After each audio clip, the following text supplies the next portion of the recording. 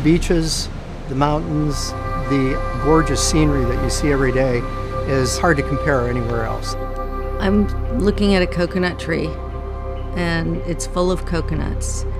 The wind is blowing. It was the smell of the air. It was the, the way the clouds wandered across the sky. It's tropical and it's warm and you can jump in the ocean. You can't get better than that. Something that you could hardly put your finger on, but you could feel it. I can't think of anything more wonderful than waking up to a beautiful tropical breeze in Hawaii.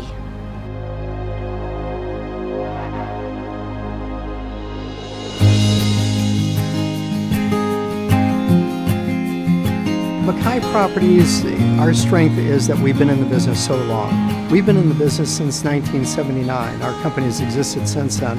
And we bring with us a wealth of experience, knowledge. In 2005, May 18th, three of us, Kelly, Rick, and I, um, were the emerging owners, and we took the leadership reins at that point in time. We became partners together, and you grow through that and you learn each other and I'm very happy with the choice.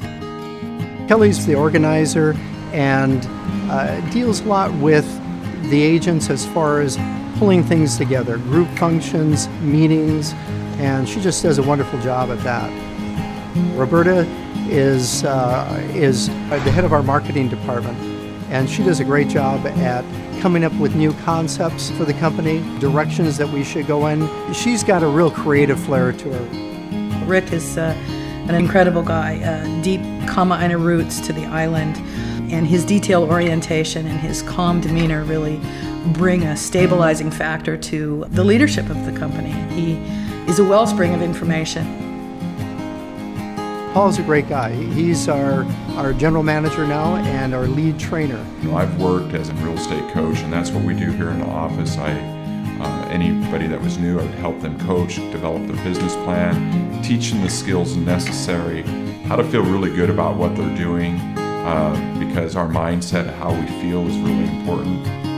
2011, um, we became the newest Coldwell Banker franchise on the island, independently owned and operated.